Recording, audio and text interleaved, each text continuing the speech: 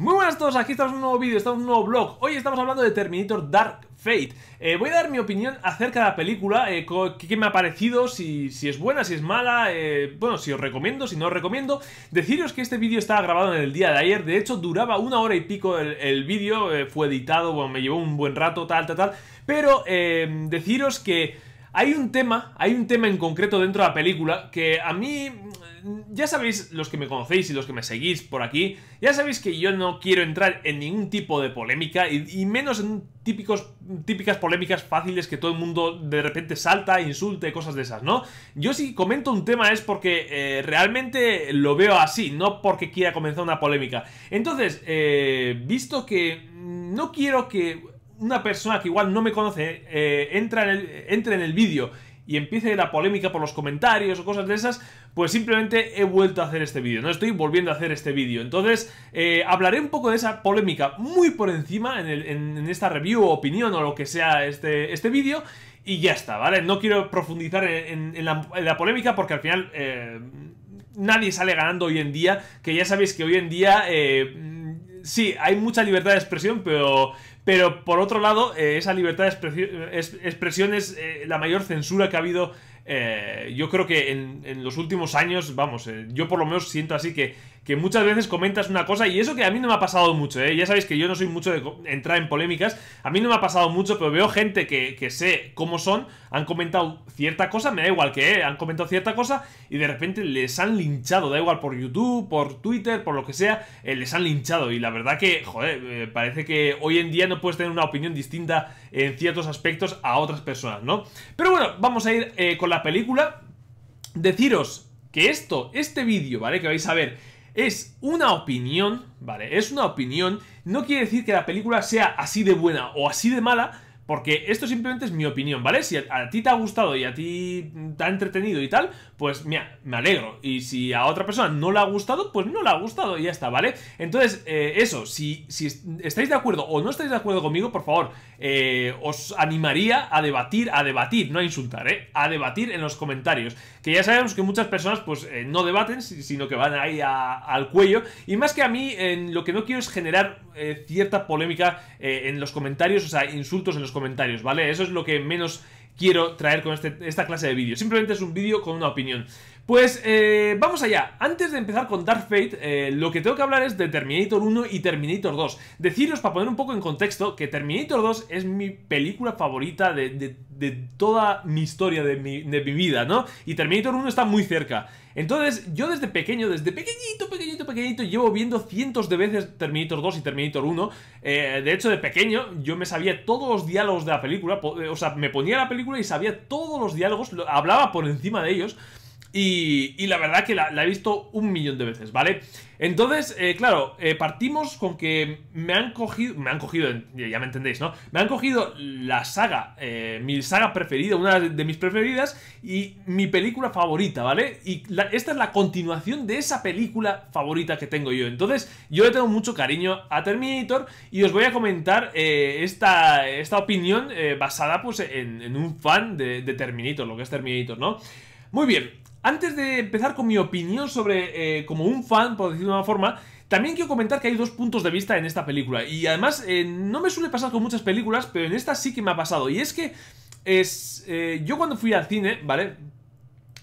pues vi esa película y pensé cosas positivas y cosas negativas, pero desde dos puntos de vista distintos. El primer punto de vista, que no sería el mío, pero sí que lo aprecio, es el que no es fan de Terminator. Vas a ver la película sin ser fan de Terminator, ¿vale? Y, la verdad que es una película muy entretenida, entretenida en el, sentido de palomitera, ¿no? Que entras allá, se me pasó la película muy rápido, hay momentos de tensión, los momentos de acción están hechos genial, Tim Miller ha, creado buenos momentos de acción, eh, los efectos visuales a mí me gustaron muchísimo, eh, Salvo un par de escenas así que cantaban un poco, pero, pero bueno, en general están bastante bien hechos. Y, eso, eh, muy entretenida, ¿no? Como, como una persona que no es fan, ¿no? Em, entras a ver una película de acción y, sales contento, ¿no? O sea, contento porque es una película entretenida. Em, entonces, ya digo, si sois esa persona que no es fan y simplemente ha ido a ver una película, ¿vale? De acción, pues eh, yo creo que os habrá gustado. Os habrá gustado porque es, es así. El problema viene cuando eres fan, que es mi caso, y, lo ves desde otra perspectiva, ¿no? Ya no ves una película de acción, ves una película de Terminator, ¿vale? Y ahí vienen un poco los problemas, los agujeros de guion, eh, algunos cambios que han hecho, algunas eh, polémicas, etcétera, ¿no? Eh, muy bien, voy a ir comentando todas. Igual alguna de las que comento, igual yo estoy equivocado y por eso quiero crear ese debate en los comentarios, porque igual no me he dado cuenta de alguna cosa o lo que sea y estaría bien que me comentaseis alguna cosa, ¿no? Pero yo voy a eh, sobre todo incidir en los eh, agujeros de guion de, la película, que, considero que son bastante importantes si no tienen una explicación concreta que no he entendido yo, ¿no? Entonces vamos a empezar, ¿vale? Vamos a empezar. Y me preparo porque... Ah, por cierto, por favor, si veis que me, me exalto un poco, estoy un poco como furioso, es que eh, realmente yo cuando anunciaron esta película, cuando vino James Cameron y dijo, no, vamos a sacar la nueva de, Terminator y yo voy a estar dirigiendo, ¿no? Eh, joder, pues imaginaos yo, me, van a coger mi película favorita, que es del 91, ¿sabéis? hace muchísimo. De hecho, nací en el 91, así que imagínate si es hace muchísimo. Em, joder, pues me cogen mi película favorita y le van a dar continuación a esa película. Y va a venir eh, Linda Hamilton, va a venir eh, Edward Furlock, va a venir Arnold Schwarzenegger, va a venir... bueno, y ya está. Entonces, pero vienen esos personajes, ¿no? Y yo estaba ilusionadísimo, ilusionadísimo. En eso que sale el primer tráiler, ¿vale? Y en el primer tráiler eh, no me gustó el tono. O sea, lo que decía, como película de acción lo veía entretenida, pero como Terminator no tenía tono Terminator, ¿vale? Ese tono Terminator no tenía. Y, y eso, lo mejor del tráiler, sin duda, Linda Hamilton, la cara de mala leche, de dura, esa... Me encanta, ¿no? Linda Hamilton, tanto en los trailers como en la película, ¿no? Eh... Entonces en los trailers ya empecé a ver, a visualizar por dónde iban los tiros. De repente metiendo a Gris, que es la aumentada esta, y no me gustó demasiado, aunque esperar, ¿eh? estoy hablando de los trailers, ¿eh? Ahora vamos a la película, ¿vale? Eh, no me gustó demasiado, y Dani, que es la John Connor nueva, pues tampoco me gustó demasiado.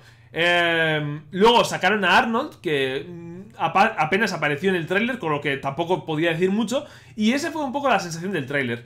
Lo bueno es que eh, el tráiler me gustó tan poco que, la película me ha sorprendido, ¿no? De hecho, eh, ya, como os he dicho antes, la película me lo he pasado bien viéndola, pero después, eh, analizando como fan, sí que he empezado a ver todo agujeros de guion, tal, porque yo soy... si me conocéis un poco, bueno, de hecho, esto no lo he comentado mucho, pero yo cuando voy al cine me divierto mucho con la película. Soy muy, de, de divertirme, porque el hecho de no saber qué va a pasar en la película eh, me hace simplemente divertirme con la película. Eso sí, una vez que ya la he visto entera, ta, ta, ta, em, yo empiezo como a reflexionar, ¿no? Y es entonces cuando ya eh, me quedo con buen sabor de boca, mal sabor de boca, tal, no sé qué, pero, pero el hecho es que cuando yo lo, veo por primera vez, normalmente salgo bastante contento, ¿no? Porque me, divierto. No soy una persona complicada en ese sentido. Luego sí, luego le doy las vueltas y, reflexiono, pero en el momento me divierto. Y entonces por eso digo que, eh, pues en ese momento me divertí bastante, pero el problema vino cuando salí del cine y empecé a darle vueltas a la cabeza, ¿no? Entonces, empezamos con la película y con... Bueno, de hecho, antes vamos a empezar con el Terminator 1 y Terminator 2, que quiero hablar de ellas. Y la gente que está eh, por las redes sociales diciendo, no, es que Terminator es un jaleo, eh, no sé qué, cambios temporales, no sé qué. Entonces, claro, como que Terminator Dark Fate tiene todo el sentido del mundo porque tiene tantos cambios temporales. A ver, a ver, a ver, a ver. Realmente Terminator 1 y Terminator 2 ¿vale? No tiene ningún cambio temporal. A, mi opinión, ¿eh? hay teorías eh, que dicen que lo Puede ser, pero yo digo eh, bajo mi punto de vista, ¿vale?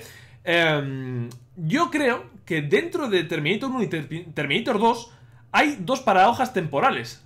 Dos paradojas temporales que hacen que la línea temporal no cambie, ¿vale? Claro, la pregunta es, ahora cuando explique las paradojas temporales lo veréis. La pregunta es, ¿qué fue antes? ¿El huevo o la gallina, ¿sabes? Ahora veréis de qué hablo. Ahí está la gente que dice, no, primero, primero hubo una gallina que hizo el huevo y después empezaron las paradojas temporales.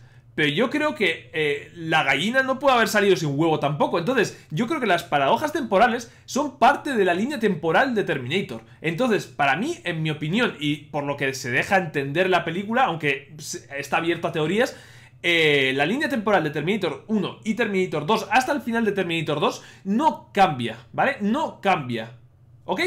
Entonces, ¿qué pasa en Terminator 1 y Terminator 2 para los que eh, estéis hechos un, lío y, no sepáis dónde, dónde estáis, ¿no? Muy sencillo, muy sencillo. Terminator 1. Eh, desde el futuro, ¿vale? Se manda un Terminator a matar a Sarah Connor, ¿vale? Entonces, Sarah Connor, evidentemente, es la madre de John Connor, que John Connor en 2029 es el que, el que destruye a Skynet, ¿no? Entonces, Skynet lo que hace es, oye, este chaval me está matando a Skynet. Entonces, lo que voy a hacer es matar a la madre para que no, no nazca el hijo y solucionado, ¿no? Entonces cambiamos la línea temporal y Skynet gana, ¿no? Entonces, esa es la cosa. Entonces, mandan a un Terminator a matar a John Connor. Muy bien, lo que hace es John Connor manda a su mejor eh, soldado, ¿vale? Que es Kyle Reese. Entonces lo manda al pasado para proteger a Sarah Connor. Pero no solo para proteger, que aquí está la primera paradoja temporal. Y es que Kyle Reese, ese soldado que está al lado de John Connor, que John Connor evidentemente eh, sabe quién es, eh, pues lo manda al pasado y se enamora de Sarah Connor, ¿vale? Que es... que le ha presentado antes John Connor, decía, esta es mi madre, no sé qué, bla, bla, bla, bla. bla eh, entonces le manda el pasado y pues se juntan los dos, ya sabéis, eh, pues procrean y se queda con el bombo eh, Sarah Connor. Con lo que la línea temporal todavía no ha cambiado porque Sarah Connor está embarazada de John Connor, evidentemente. Lo que pasa que la paradoja temporal es que le ha embarazado a alguien del futuro. ¿Me entendéis? Ahí, ahí está la paradoja temporal, que si John Connor no manda a Kyle Reese al pasado, no sería John Connor quien nazca. Entonces, también si fuera Terminator, yo diría, ¿y si mato a Kyle Reese en el futuro? Pues no nacerá John Connor, ¿no? También puede ser. Eh, pero no, mandan al pasado a matar a Sarah Connor. Entonces, la primera película, ¿qué pasa? Que eh, Kyle Reese muere, Terminator muere, o sea, los dos que vienen del futuro mueren los dos, pero Kyle Reese ha dejado embarazada a Sarah Connor. Así que, lo único que ha pasado ahí en Terminator 1 es que Sarah Connor está embarazada. O sea, la paradoja temporal hace que siga la línea temporal de, original de Terminator. Así que no ha pasado nada en Terminator 1. La línea temporal sigue intacta, ¿vale? Entonces, eh, pues eso, es en Terminator 1 y vamos a Terminator 2. ¿Qué pasa en Terminator 2? Que, em, pues, mandan del futuro eh, a un Terminator a matar a John Connor, esta vez no a Sarah Connor porque ya ha nacido John Connor, y mandan a otro Terminator, ¿vale? Eh, a proteger a John Connor. Esta vez no mandan a un humano, sino que mandan a otro Terminator reprogramado, ¿vale? Entonces, eh, el nuevo Terminator que mandan es un T-1000, es un modelo más avanzado metal líquido, y el otro es el T-800 de toda la vida, el, de Arnold Schwarzenegger, por decirlo de alguna forma, ¿no? Entonces, eh, ¿qué pasa en Terminator 2? ¿Cuál es la paradoja temporal de Terminator 2? Y es que cuando en Terminator 1 eliminaron al Terminator, ¿vale? Se creó otra paradoja temporal para Terminator 2, que es que el brazo del Terminator que no fue aplastado, el que no fue aplastado, se usó, y el chip de la cabeza, el chip, eh, se usó para crear a Skynet. Entonces, ¿cuál es la paradoja temporal? La segunda paradoja temporal, que si no hubiesen mandado en la primera película al Terminator y ese Terminator no hubiese eh, sido exterminado, ese brazo no hubiera sido recolectado o recolectado, sí, bueno, para investigar y no hubiese nacido Skynet. O sea, fijaros cómo de retorcido puede ser que si eliminamos las dos paradojas temporales, tampoco nacería Skynet. Me refiero, si mandas al Terminator y el Terminator acaba con, con, con Sarah Connor, ¿vale? John Connor no nacería, con lo que supuestamente eh, Skynet ganaría en 2029. Pero, pero, eh, en la segunda película no nacería tampoco Skynet, porque el Terminator se iría, vete a saber a dónde, pero se, iría, porque ya ha cumplido su misión, ¿no? Entonces, no investigarían a Skynet y eh, pues no, no llegarían a crear, o supuestamente no llegarían a crear eh, a Skynet. Estos son todo teorías y, líneas temporales alternativas y tal, ¿no? Pero eh, la que es, la que estamos, el Terminator deja su brazo y su chip, o lo deja, le, cogen porque está muerto ya, cogen su chip lo investigan para crear a Skynet. Entonces, quien crea Skynet es eh, alguien que se ha basado en, el Terminator del futuro para crear el Skynet del presente. ¿Vale? Esa es la segunda paradoja temporal. ¿Y qué pasa? ¿Qué dice el, Terminator del T-800? Nada, que tenemos que eliminar todo rastro de Terminators para que no creen eh, a Skynet y matar al metal líquido para, para que no mate a John Connor y, pueda vencer en el futuro, ¿no? Bueno, de hecho, matando ya a todos los Terminator no se crearía Skynet y no habría supuestamente guerra, ¿no? Entonces, eh, al final de la película, al final, final, final de la película, eh, consiguen eliminar tanto el brazo del Terminator 1, el chip de Terminator 1, al metal líquido de Terminator 2 y se extermina también el, el, T-800, el Arnold Schwarzenegger de Terminator 2. Con lo que nos quedamos eh, con que eh, en Cyberdyne no hay rastro de Terminators, no hay investigación, por tanto, y nos quedamos sin ningún rastro tampoco de ningún Terminator eh, para que puedan investigar en el futuro. Entonces, al final de la segunda película de Terminator, al final es donde cambia la línea temporal de Terminator. Ahí es la primera vez que cambia la línea temporal, porque Skynet ya no va a ser creada. ¿Vale? Ahí es donde cambia. Muy bien. Entonces, aquí se abren dos líneas temporales distintas. Bueno, en realidad tres. Una es la de Terminator 3 y Terminator Salvation, otra es la de Terminator Genesis y otra es la de Terminator Dark Fate. ¿Vale? Eh, bueno, luego doy conclusiones, luego doy las conclusiones. Entonces, vamos a empezar con eh, Terminator Dark Fate, ¿no? Y luego ya haremos un pequeño repaso muy por encima de las demás. Eh, con Dark Fate. Empezamos. La típica escena de los robots eh, aplastando cráneos, eso aparece siempre. Aunque sí que tengo que decir que de todos los efectos visuales que he visto, esta yo creo que es la, peor de las escenas porque los Terminators no parecen Terminators, no, parecen mucho 3D, hay mucho 3D ahí, ¿sabes? Y en realidad, cuando son eran animatrónicos en Terminator 1 y, Terminator 2, daban mucho más miedo los Terminators, parecían reales, ¿no? Entonces, eh, los efectos para mí del Terminator en sí eh, han perdido un poco en esa primera escena aplastando los, los cráneos. Prefiero más las escenas del Terminator 1 y Terminator 2 que eran, ya, ya digo, con máquinas de verdad, ¿no? O sea, que eran animatrónicos.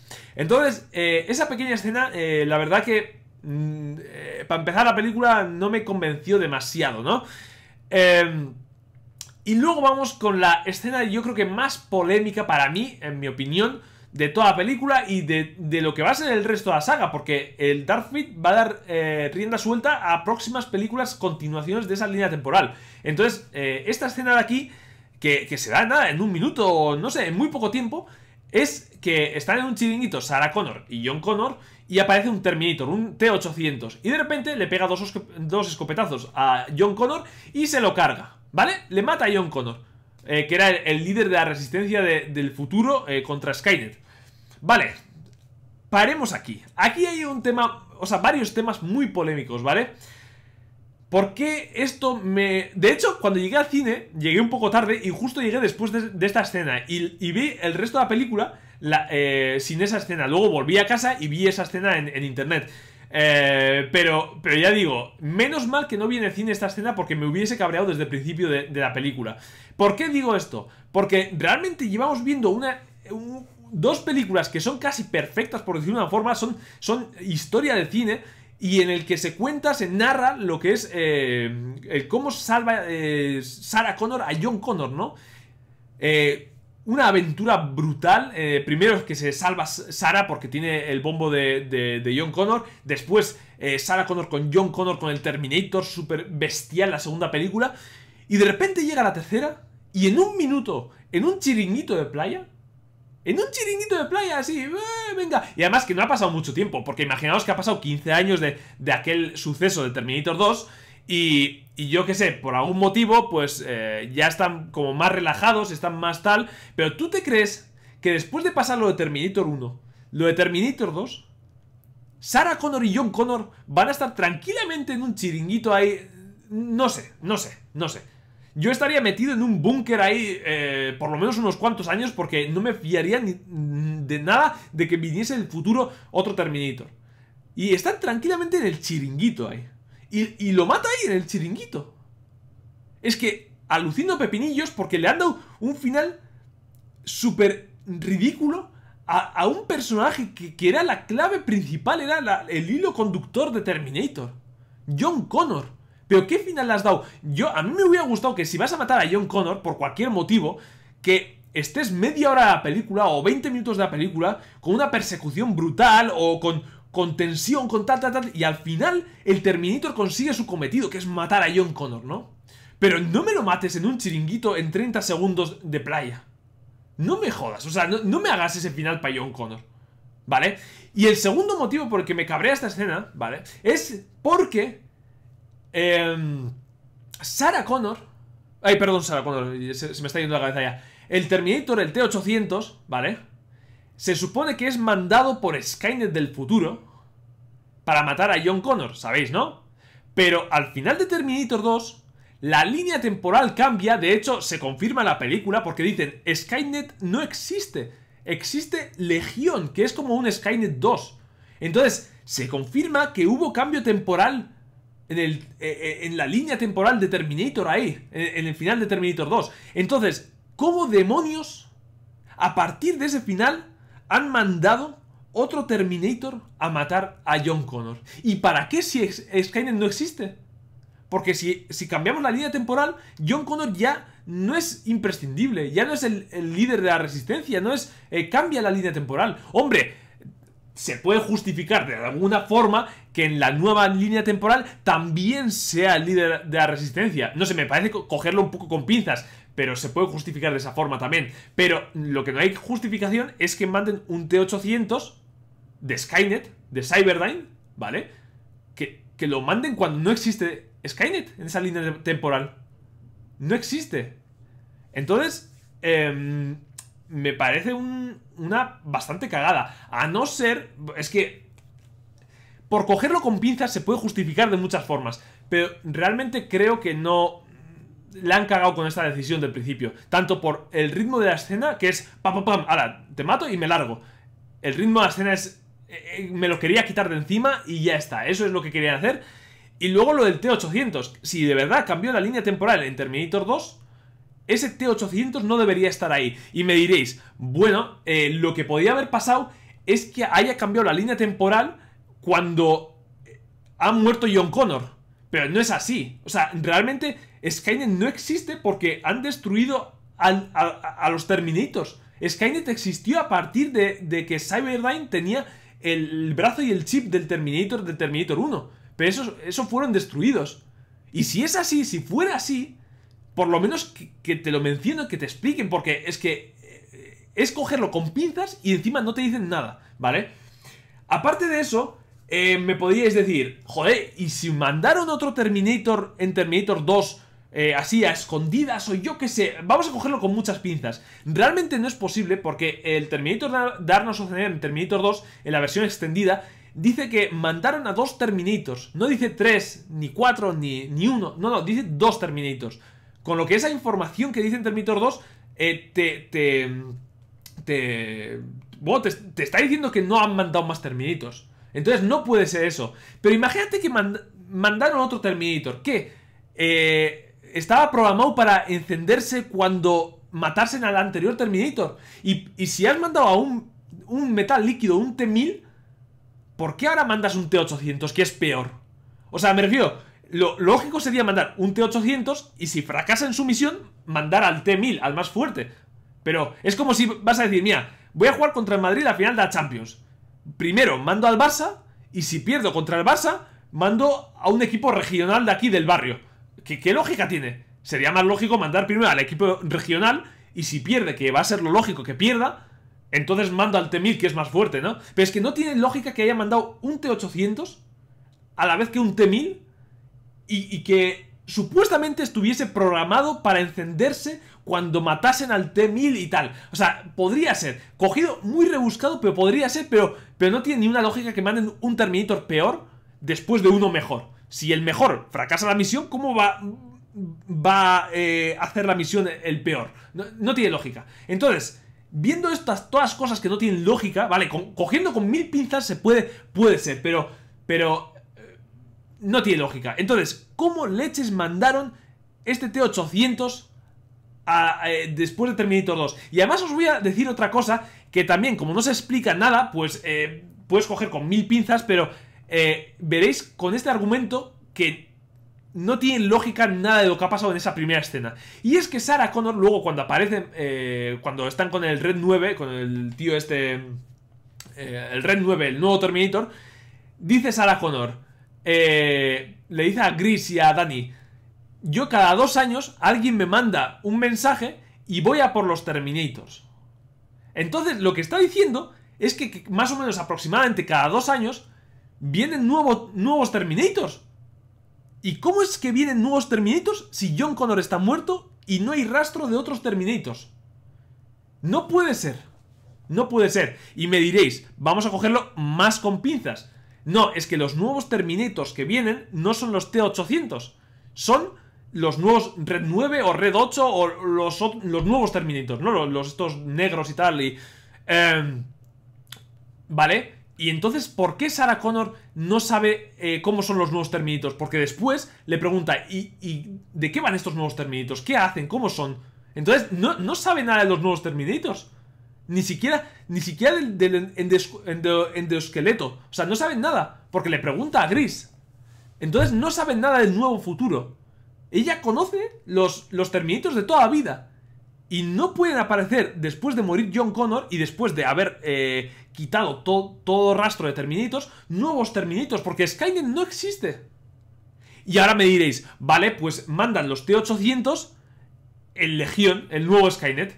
Pero ¿no creéis que es coger mucho con pinzas el hecho de que la el nuevo Legión haga exactamente el mismo modelo que Skynet en otra línea temporal totalmente distinta, el mismo modelo, eh, con la misma piel, con la misma... No, que no, que no. Se puede coger con mil pinzas, pero que, que, que es surrealista, que es surrealista, que no, no pueden... Que no, que no. Es como si me dices, eh, joder, tengo dos vidas totalmente distintas, ¿vale? Y voy a ser la misma persona. No, evidentemente, si... Vamos a poner dos casos extremos. Un día me toca la lotería, tengo 200 mil millones de euros y vivo en una mansión de lujo y tal. Y en otra vida, ¿vale? En otra vida paralela, de repente matan a toda tu familia, pierdes todo, la casa, el coche, no sé qué, estás viviendo debajo de un puente, la vida es, es eh, desgraciada contigo y me vas a decir que esas dos vidas totalmente distintas van a converger en un mismo final para ti. No, evidentemente no, porque las circunstancias son las que te crean, las que crean tu personalidad. Y lo mismo pasa con Legión y Skynet, son dos cosas totalmente distintas. Legión es imposible que haya diseñado los mismos Terminators con la misma aleación, con, con el mismo aspecto, sin ver a Skynet. Es imposible. Y ahora me diréis, bueno, pero Legión puede haber viajado al pasado pasado para ver cómo era Skynet y no sé... No, no. O sea, que no. No os hagáis pájaras porque si hubiera mandado al pasado pasado, hubiera estado en Terminator 1 y Terminator 2. Eh, es por eso digo que es imposible justificar el hecho de que un Terminator T-800 aparezca después del final de Terminator 2 y mata a John Connor. De hecho es que John Connor ya no debería ser importante después de Terminator 2. Entonces, eh, y Legión no ha podido mandar a ese Terminator porque eh, ese diseño de Terminator era Skynet, no era de Legión. Entonces, con todo esto, ¿vale? Ya, eh, eso de que Sarah Connor mata cada dos años un Terminator y eso de que el Terminator ha matado a John Connor, no... Por favor, que alguien me lo explique porque no tiene ni una lógica de ni un tipo en la línea temporal alternativa que se ha creado. No tiene ni una lógica de ni un tipo. De hecho, Legión, que se ha creado, debería ir ya a por eh, Danny y, John Connor debería estar ahí viva la pepa. Si esa es la nueva línea temporal que se ha creado, que sea esa. Pero lo que no me hagas es, querer acabar con Terminator 2 porque lo que han querido decir es, no, no, esto es eh, a continuación de Terminator 2. Para eso es la escena esa del principio. No para otra cosa, para justificar que es después de Terminator 2. Lo matan como para decir un punto y aparte y ahora empezamos con otra cosa. Pero lo han matado de una forma tan, tan chapuza. Eh, John Connor tenía que tener un final eh, increíble. John Connor tenía que tener un final a la altura. No, no en un chiringuito de playa, dos tiros y ya está. De verdad, es que me jode porque además tenía mucha ilusión de, de, ver esta continuación de Terminator 2. Tenía mucha ilusión. Y me, han jodido... Eh, es que realmente, si te das cuenta, todo lo que han pasado en Terminator 1 y Terminator 2 se ha terminado así como... ¡Puf! ¡Hala! Dos tiros, a toda por saco. Es que no, no, no, no sé. Es que además, no dos tiros, sino que... ¿Cómo se van a un chiringuito de playa? No, no sé, y te matan ahí, no sé. No sé.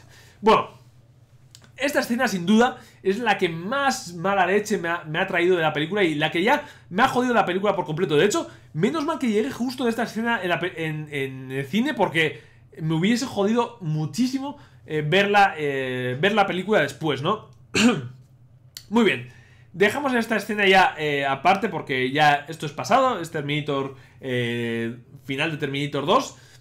Y vamos a Terminator 3. Muy bien. Eh, lo primero es que... Mm, bueno, la polémica la vamos a dejar un poco más hacia el final. Primero quiero comentar la película y luego ya hablamos de la polémica, ¿no?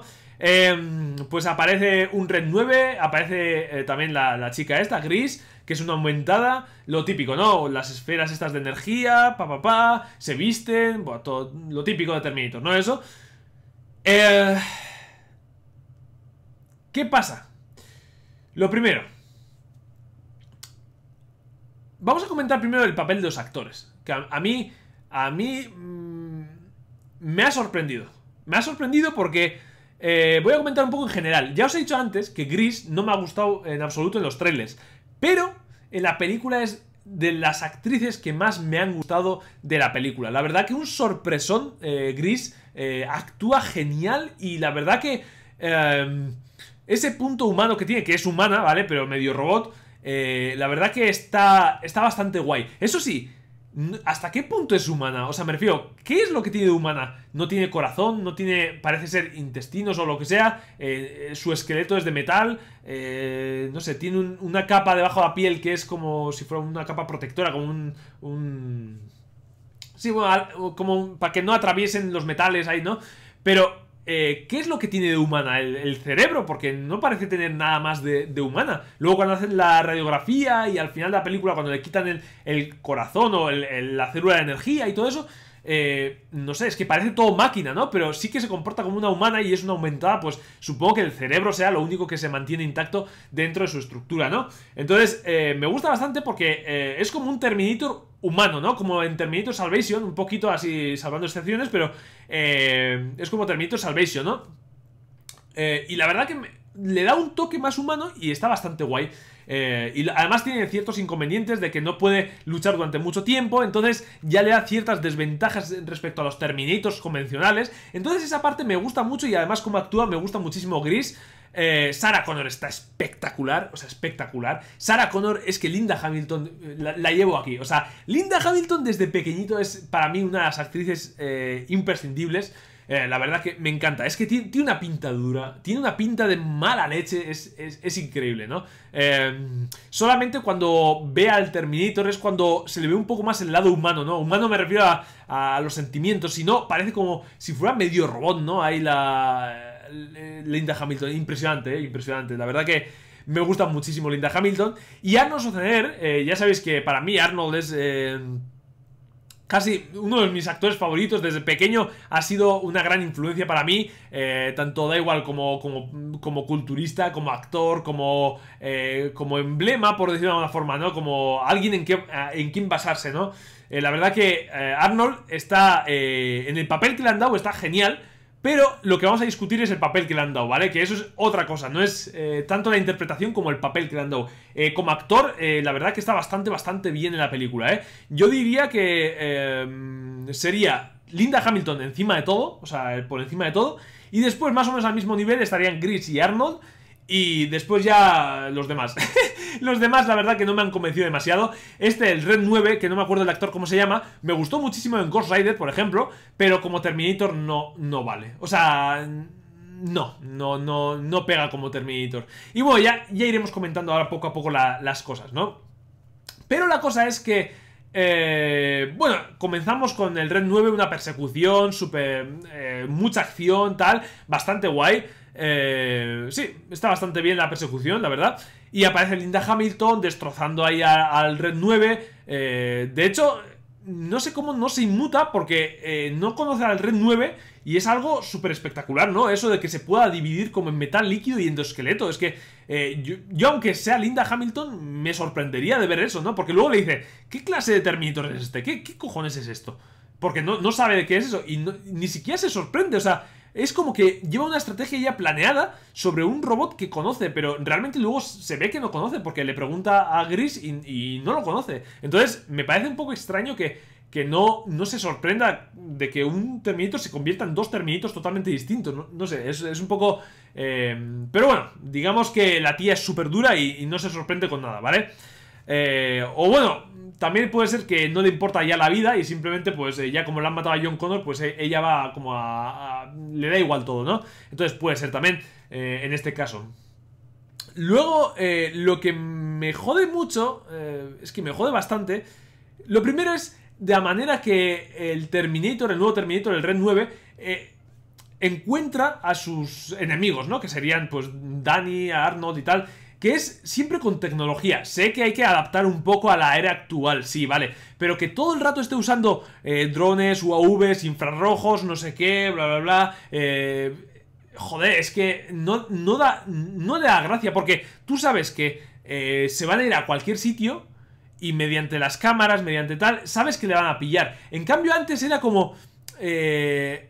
no sabías seguro si el Terminator le iba a pillar o no le iba a pillar, porque eh, tenía que ir preguntando, tenía que ir como eh, coaccionando a la gente el Terminator para saber dónde está la ubicación de, estos, ¿no? Entonces era como... Eh, había un ratito que te quedabas como tranquilo diciendo, se han escapado, se han escapado.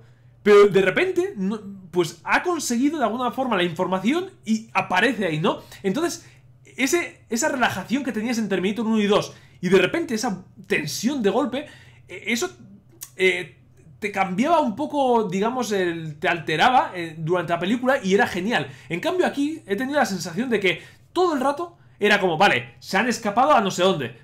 Pues ya le encontrarán, que si las cámaras de la ciudad, que si, eh, bueno, cámaras de gasolineras, que si el, los drones que ahora sobrevuelan no sé qué, ahora que... Sabes que le van a encontrar.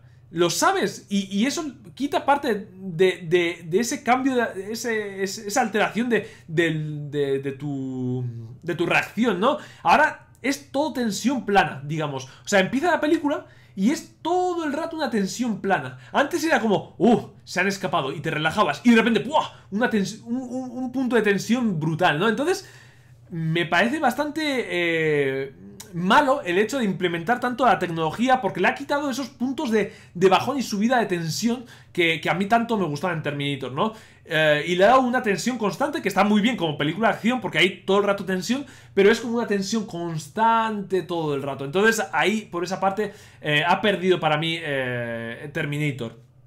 Después otra parte que esto no es un error de guion ni, mucho menos, sino que es algo premeditado, que James Cameron ha dicho que van a explorar más todavía en el futuro, cosa que no me gusta en absoluto, y esto es una opinión personal, eh, no es ni un fallo ni nada, que es eh, la humanización de los Terminators. Y es que eh, para mí Terminator, y yo creo que para todos los fans de Terminator, es una máquina, es, es una máquina fría, es una máquina sin expresión.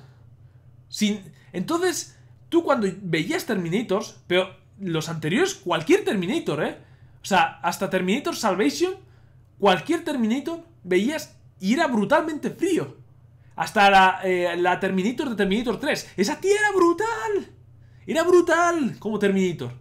Era, le veías la cara y, es que parecía que no tenía alma, chaval. Era, era increíble esa tía. Y Arnold, increíble, parece una máquina. Y el T-1000, el T-1000 era increíble es que los Terminators que se han escogido del 1 al 3 eran increíbles. Eran Terminators, tíos, eran máquinas. Y sé que estamos en una época más actual en, eh, la que Legión eh, pues tiene más tecnología y habrá conseguido que se mimeticen más con los humanos y pasen más por nosotros. Vale, lo entiendo, lo entiendo, pero has cambiado Terminator. Terminator...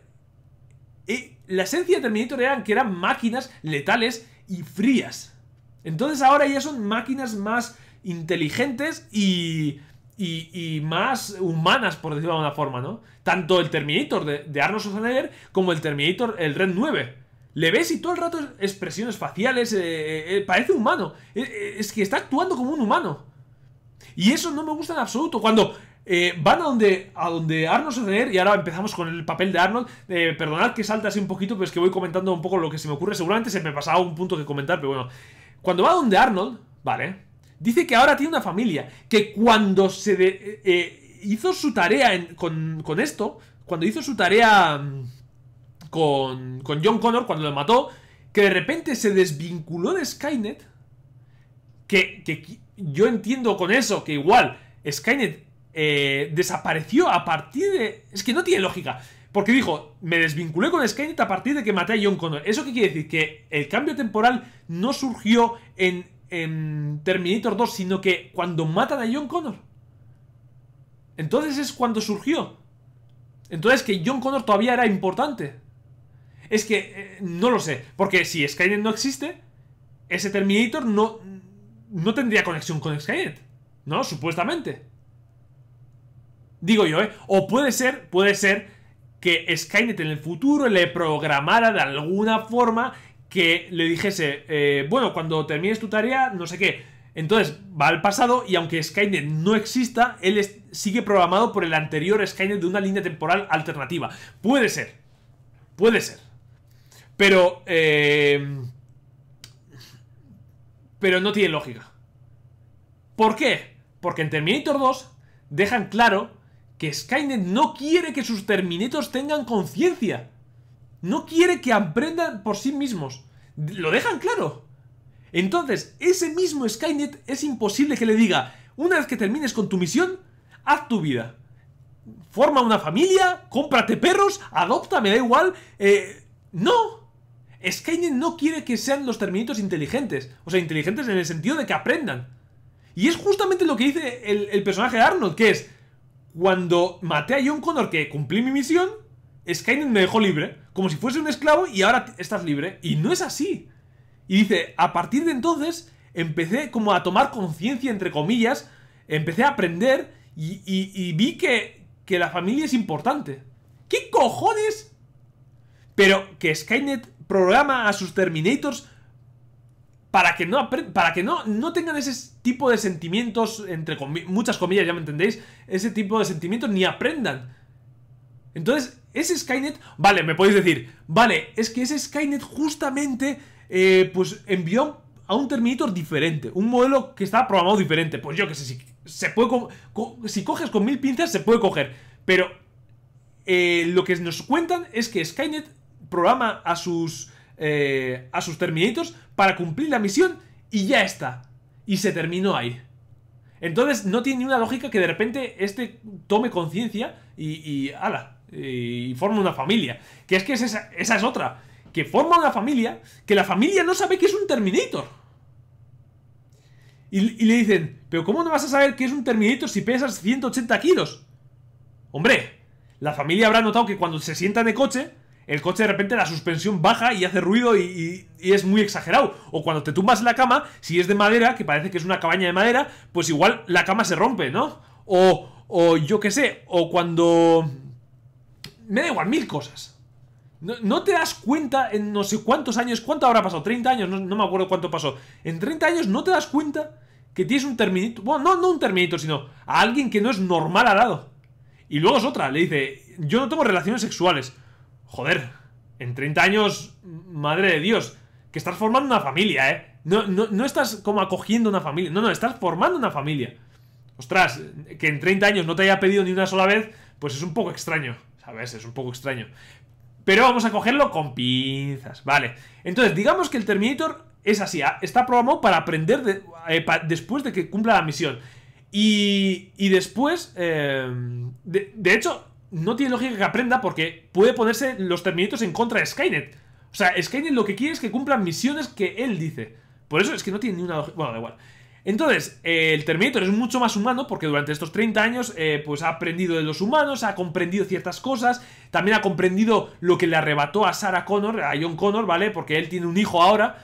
Em, y a mí lo que me jode es una escena, eh, la primera, que es que Arnold aparece con, con las piernas así, entrecruzadas en, en, la terraza bebiendo una cerveza. Como si, si estuviese ahí como... ¡Eh! ¡Eh! Vamos, echamos un traguito. ¿Qué, qué, cojo? ¿Qué es un Terminator? Y además está en una silla que ahora... No lo recuerdo bien, pero diría que es una silla bastante eh, endeble de madera. No me acuerdo bien, ¿eh? Pero digo yo, 180 kilos y no se rompe la silla. Bueno, Da lo mismo. Entonces, eh, resulta... Eh, ya no sé ni dónde iba. Ah, sí, bueno. Descubren que el, el Arnold ese que mandaba mensajes a, a Sarah Connor. Y la justificación es que... No, es para motivarte. como habías perdido a John, pues te motivo con eso. Y digo, ¿qué cojones? ¿Qué cojones? Mira, me, me razonas de otra forma, por ejemplo. Me dices, te he mandado a... Mira, te he mandado a exterminar los terminitos que vienen del futuro porque ahora la nueva chica Dani está en peligro o va a estar en peligro o yo que sé, habrá otra persona en peligro y tú eres la única que puedes, eh, que tienes la experiencia suficiente como para terminar con los terminitos. Vale, vale, pero en serio que, que, que la justificación es... No, es que sin motivación la vida no tiene sentido y para eso te mando a matar terminitos. Para que te motives. ¿Qué? ¿Cuándo aprendió el Terminator a lo que es la vida? O sea, es. No sé, es que no sé, es que es muy extraño. Es que es muy extraño, es que es muy extraño. Y, esto no es un fallo, eso es James Cameron que quiere que se humanicen los Terminitos. Y si me dices que el Red 9 es, eh, está humanizado porque es de Legión, que es otro sistema, vamos a decir, eh, inteligente. Pues bueno, pero Skynet, que ya Skynet está bien, está bien marcado cómo es y cómo funciona Skynet. ¿Por qué me haces eso con Arnold? Imagínate que el Red 9 es mucho más humano, pero Arnold sigue siendo máquina. De una Skynet vieja, obsoleta. Pues vale, bueno, no, tampoco estaría a gusto, pero, pero vale, por lo menos eh, sigue una lógica. Pero es que nada, es que Arnold también está humanizado. Y eso, eso me jode. Es, que me jode mucho. Y después a la familia, pues eh, se despide de la familia diciendo que ya no volverá, que este momento iba, iba a pasar algún día y todas estas cosas. Bueno, todas estas cosas, ¿no? Eh, más cositas. Joder, es que me voy a dejar algo en el tintero, pero es que... Esta, esta película de verdad, ¿eh? Como Terminator... Luego otra cosa. Las escenas de acción. A ver. Aquí hay dos vertientes, como he dicho antes. Las escenas de acción son buenísimas. Están súper bien rodadas. El ritmo es muy bueno. Tim Miller tiene mucho, eh, mucho rodaje en este tipo de películas. Y la verdad que no se puede decir nada, ¿no? De, esta, de, de, las, de estas escenas, ¿no? Pero... Pero es que no es un Terminator. Bueno, si lo coges con pinzas, sí, pero no es un Terminator. Para mí, una película de Terminator tiene que tener tensión. Una tensión lenta. Me, refiero a, lenta. ¿Os acordáis del Terminator 1 en la tienda de, ropa? O, o, en la fundición, que esa es otra. Ahora vamos a hablar de... De hecho, espera, un momento, que se me olvida... Un momento, ¿eh? eh vale, ya está.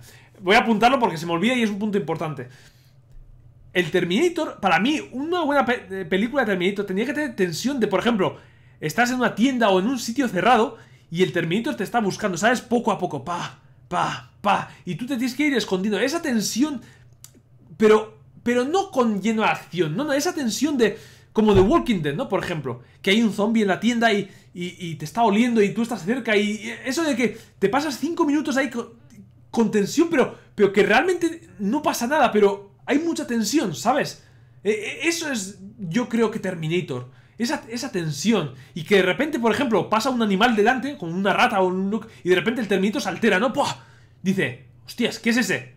¿No? Y, tú te pegas un susto de, hostia, que, se ha dado cuenta que está John Connor ahí. O John Connor o Danny o lo que sea. Y dices, ¡oh! Joder, eso es Terminator. No, no una persecución constante que sale de repente a un avión, se choca con el avión. ¡Ah! ¡No! ¡No! Y eso que, la, ya digo, ¿eh? Las escenas de acción están genial como película de acción, pero no como Terminator. O yo por lo menos lo veo así, ¿eh? Las escenas de Terminator tienen que ser tensión constante, pero, pero no tienes que... Y esto pasa cuando Terminator 1 y Terminator 2 tenían un presupuesto muy limitado. Entonces, puede ser que esas escenas estén hechos por el presupuesto limitado. Porque dices, no puedo permitirme hacer un, avión explotando, pues lo que voy a hacer es eso, eh, una persecución en moto o, una entrando en una tienda o en no sé qué. Entonces son cosas más pequeñas que le quedan mucho mejor a Terminator. A mí en las películas de zombie me gusta que los zombies sean lentos, que te cree esa tensión de que están cerca, que te van a ver, que te van a oler, pero pasan justo por delante tuya. Esa, esa tensión. No me gusta que haya 200.000 zombies corriendo detrás de, de, las personas. Porque sí, te crea tensión, pero tensión de acción. Y es, ah, es un toque diferente, es, es, una tensión diferente. Entonces, a mí aquí en Terminator me ha gustado mucho las escenas de acción, pero no veo reflejado Terminator. La tensión de Terminator. No, no lo veo reflejado. Luego, eh... Bueno, vamos a dejar eso para el final. La polémica vamos a dejarla para el final. Luego, vamos a pasar al final de la película. El lugar que han escogido para el final de la película. Que muchos han dicho, ¡Wow! Al final el lugar es espectacular ahí dentro, donde las turbinas, no sé qué. Y yo os voy a decir, es de los peores lugares que han escogido para Terminator. Bueno, no de los peores lugares, pero es que no tiene nada que ver con Terminator 1 y 2. No tiene nada que ver. Pero nada que ver. Incluso con Terminator 3. No tiene nada que ver. Pero sobre todo con los dos primeros. En el primero, entrabas en un lugar lleno de prensas, que es un poco lo que estoy diciendo ahora. yo de cuando era pequeño, cuando tenía muy pocos años, pero muy pocos, veía Terminator 1 y el final de Terminator 1, aunque sabía lo que iba a pasar, me tenía, me tenía en ascuas, eh, en, tensión, en completa tensión. ¿Por qué? Porque eh, James Cameron, muy inteligente, lo que hizo es mezclar el ruido del Terminator con las prensas. Así liando a Sarah Connor y no sabiendo el espectador tampoco dónde está el Terminator, si es la prensa, si es el Terminator, si es que... Eh, lo hizo súper inteligente. Y luego el Terminator, por supuesto, eh, no era súper, yo qué sé, un tío... Por ejemplo, eh, hoy en día, esa misma escena, habría cámaras dentro de, del cuarto y vería dónde está Sarah Connor y va por ella. En aquel entonces no, el Terminator andaba buscando a Sarah Connor muy despacio, era, era como, ¿dónde está la tía? ¿Dónde está la tía? Estaba buscando, buscando, buscando. Y, y, esa tensión de buscando, buscando, buscando. Y Sarah Connor súper obsesionada con los ruidos de, la prensa y, de las prensas. Y nosotros ahí como súper paranoicos. Y de repente aparece el terminito, ¡pah! Delante de Sarah Connor. E, eso es tensión, coño. Eso es tensión. Y después, Sarah Connor consigue ahí romper la, parte inferior del Terminator. Le consigue joder ahí la, parte... No, perdón, Kyle Reese es el que consigue eh, romper la parte inferior. Y, de nuevo, volvemos a la tensión. Y es que el Terminator ya no puede andar. O sea, el Terminator ya tiene fijado a Sarah Connor, pero no puede andar rápido, con lo que la tensión vuelve a ser lenta. Volvemos a arrastrarnos por el suelo, Sarah Connor está jodida. Joder, y la última parte, la, la, parte de la prensa en la que Sarah Connor pasa ahí súper agachada, ahí como casi pegándose a la prensa. Eso es uno de mis mayores miedos, una de los pánicos que tengo. Que, te aplasten dos paredes o, una prensa o, y pasa ahí, pa, pa, pa, pa, pa. Súper justo. El Terminator tocando los pies ahí. ¡Buah! Eso es tensión, tío. Eso es tensión. Y luego Sarah Connor, pa, le da el botón ahí eh, súper justo, baja la, prensa y el Terminator ahí, le va a pillar y pa, la aplasta y consigue ese brazo. Eh, bueno, se corta el brazo porque se queda como enganchado a Sarah Connor, ¿no? Que también digo, ¿por qué solo aprovechan el brazo? Vale, habrá aplastado el resto de metales, pero. Pero si el chip que estaba en la cabeza todavía sigue intacto, el resto de Terminator, ¿dónde está? Eso siempre me he preguntado yo de la, de segunda parte de Terminator. ¿Dónde han metido el resto del Terminator? Si el chip lo han sacado, eso es que está intacto el chip, la cabeza. Podrían haber sacado cosas de la cabeza también y del cuerpo, pero solamente cogieron el chip y el, brazo. No sé, bueno, eh, son cosas que, que un agujero de guion puede ser de, la segunda película o de la primera, ¿no? Según se vea. Pero, eh, joder. Joder, eso es tensión, eso es... Madre mía, uno de, los mejores finales que puedo haber. Y la segunda parte, en la fundición. Madre de Dios. Yo de crío, yo de crío, pensaba, y esto os lo digo de verdad, ¿eh? no estoy inventándome ahora. Pensaba, yo tenía la imagen de que el infierno, el fin del mundo, era esa fundición. Esa lava, esa, ese líquido todo rojo cayendo, naranja, eh, todo quemando. De hecho, me preguntaba cómo podía haber personas en la boca del infierno. O sea, fíjate eh, personas trabajando, me refiero. Cuando entran a la función, hay personas trabajando. Y decía yo, pero ¿cómo puede haber personas trabajando en el, fin del mundo, en, la entrada al infierno, no? Era, era, espectacular. Espectacular. Y después con el. Em, con el esto, con el líquido. Joder, este. Ay, no me sale. Eh, como criogénico, o sea, este frío que, que, hiela al Terminator, al T-1000. ¿No? Y Sayonara, baby. ¡Pum! Dios, hasta la vista, baby, pum. Brutal. Brutal. Y luego de repente se vuelve a componer, ¿no? Y luego una cosa que no explican en la versión normal de Terminator 2, pero sí en la versión extendida, es que esa, esa congelación que ha tenido el, T-1000 le ha pasado factura. De hecho, eh, John Connor al final sabe que su madre es la T-1000 porque los pies están pegando, en la versión extendida, los pies están pegando la reja y el T-1000 tiene un fallo, que es que eh, aparece como la forma de la reja. Y es entonces cuando eh, John Connor sabe que ella, eh, o sea, ella, una de las Sarah Connor, es la T-1000. Porque si John Connor no se aparta, Sarah Connor no puede disparar a la T-1000. Entonces, es una de las cosas que la versión extendida se explica muy, muy, muy bien. Em, y eso, la fundición, espectacular. Espectacular, espectacular. La parte en la que revientan al T-1000 y queda como hecho en mil cachos y cae a la lava y... Bueno, al lava, al, al, hierro líquido, bueno, no sé, metal líquido. Bueno, sí, ya me entiendes, ¿no? El metal líquido, el, fuego ese, ¿no? Joder, es que, es que, es que... Y en esta parte no hay tensión, no hay... El lugar, lo único para, que, para lo que sirve el lugar es para la parte en la que el T-800 le mete dentro de la turbina al Red 9. Es el, para lo único que vale esa turbina de, de, de, de, de la escena final. Pero la escena, o sea, podría haberse ambientado en una fábrica estándar, podría haberse ambientado en, en, otro sitio, o sea, realmente el lugar no es parte de la escena. Quitando eso de cuando ya le mete la turbina. No es parte, no, no, no, no añade a la escena. Es una lucha así de acción, pa, pa, pa, pa, pa, pa, toma escopetazo, pa, no sé qué. Es una lucha de acción. Pero esa tensión de Terminator no está ahí. Cuando John Connor en Terminator 2 de la fundición se escapa. Cuando se escapa y, el T-1000 está buscándolo. Joder, es que eso es tensión. Eso, eso es Terminator, tío. Eso es Terminator. La acción está genial, pero es que no es para Terminator. Oh, a ver, la acción eh, de este tipo me refiero. Estas luchas así, medio karatecas. Eh, hombre. De hecho, eh, hablando un poco de la humanización de los Terminator, lo peor, lo peor, eh, no es que hayan humanizado, sino que James Cameron y los actores, lo más difícil que, tuvieron que hacer es que parecieran robots eh, en la actuación de las primeras películas. De hecho, eh, lo más difícil para el T-1000, ya sabéis, eh, Patrick me parece que es... Eh, Patrick es... ¡Ay! El actor este del, del T-1000. Bueno, el T-1000, lo más difícil que tuvo para actuar como T-1000 fue correr y actuar, pero sin expresión en la cara. O sea, eso es lo que más le costó. De hecho, costó un montonazo el hecho de que eso, que, que pudiese actuar sin, sin expresión en la cara.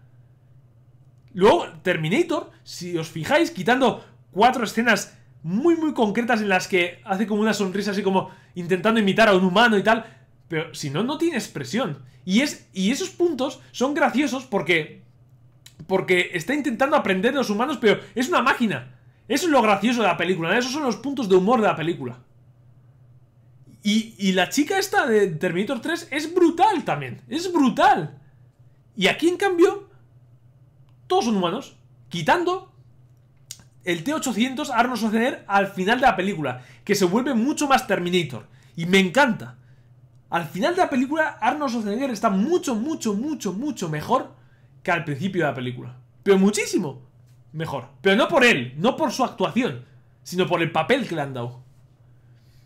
Entonces, em, me parece eh, fatal. Y de hecho voy a apuntar aquí un momentito una cosa.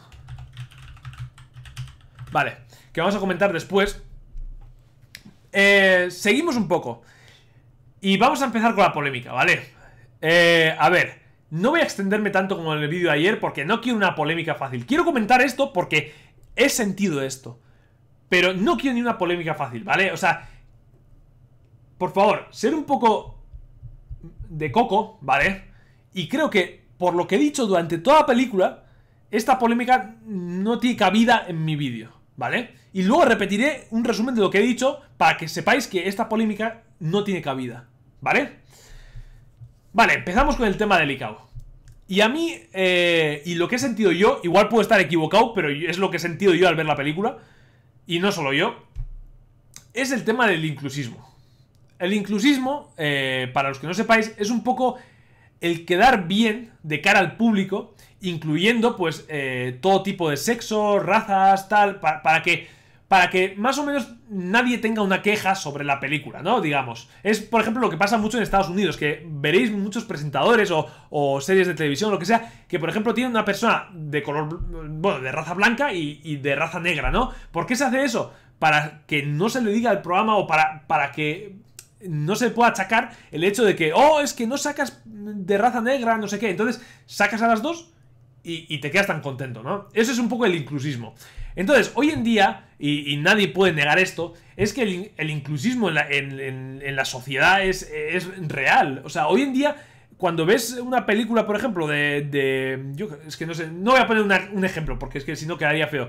Eh, cuando ves una película, hoy en día se intentan siempre meter, pues, razas eh, minoritarias o, se intenta meter eh, sexos como la mujer, por ejemplo, que, que está como en un escalafón menor que el hombre, digamos, ¿no? Eso es lo que eh, trata el feminismo, ¿no? De igualar un poco lo que es los dos sexos, ¿no? Pero yo os voy a plantear una cosa, ¿vale? Os voy a plantear seriamente, sin polémicas, ¿eh? Os voy a plantear una cosa.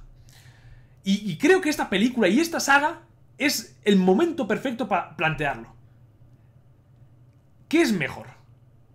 Incluir a una mujer, incluir a, un, a una persona negra, incluir cosas para quedar bien así sin más, porque no viene a cuento?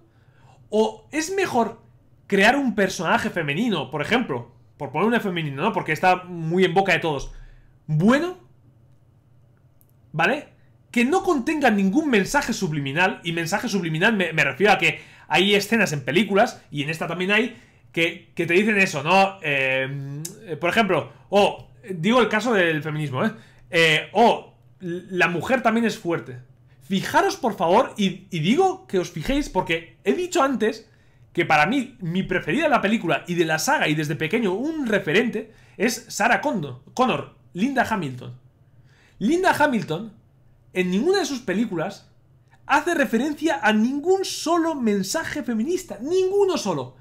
Y sin ningún mensaje feminista, la tía se, se le ve la más dura del lugar.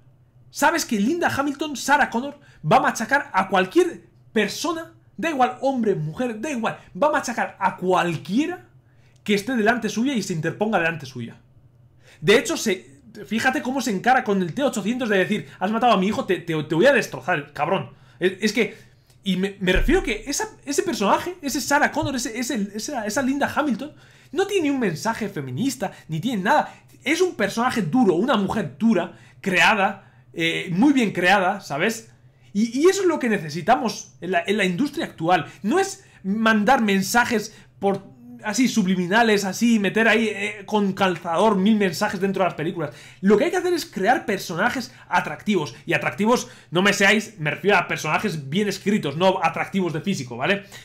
Entonces, a lo que me refiero es que el inclusismo que ha habido dentro de la película no tiene ningún sentido y más teniendo eh, ahora, ahora comentaré ciertos casos de inclusismo, ¿eh? pero teniendo a Gris, que me parece una de las mayores sorpresas de la película, que es mujer también, ya. Por eso digo que esta, esta polémica no tiene cabida, porque lo que más me ha gustado de la película es Sarah Connor, Gris y Arnold, sobre todo al final de la película.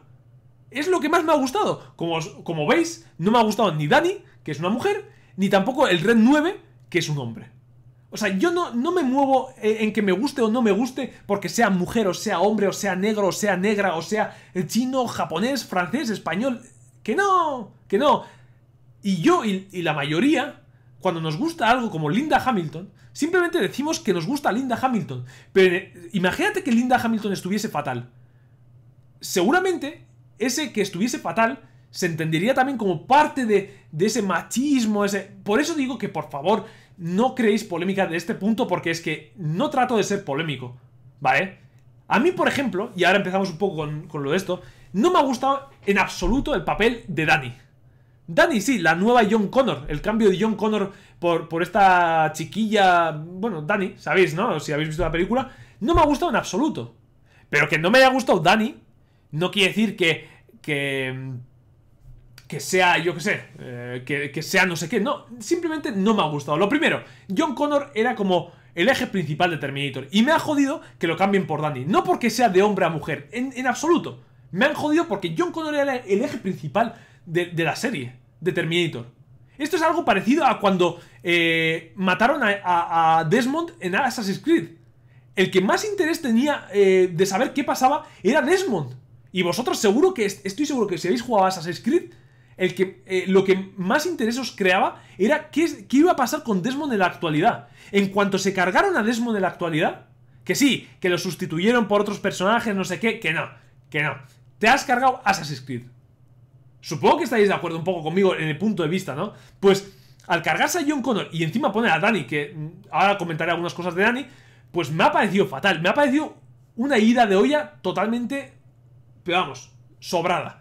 Entonces, eh, por esa parte, Dani no me gusta nada. Yo quería que siguiese eh, John Connor como, como el, eje principal y en este caso no como Dani. Pero ya vuelvo a insistir, no porque sea mujer o porque sea hombre o porque sea no sé qué. Que no, que me gustaba que siguiesen con la trama de John Connor, nada más, ¿vale? Dani no me ha gustado por varias cosas. Lo primero, la actuación.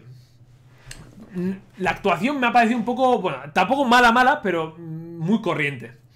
Lo que más me ha jodido es que eh, volvemos un poco a la inclusión y es que me da la sensación que han querido, eh, o eso es la sensación que transmite, eh, que han querido hacer de nuevo otra mujer poderosa, fuerte. Dani la fuerte, ¿no? La, la líder rebelde. ¿Por qué me da esta sensación? Y lo voy a explicar ahora lo mejor posible.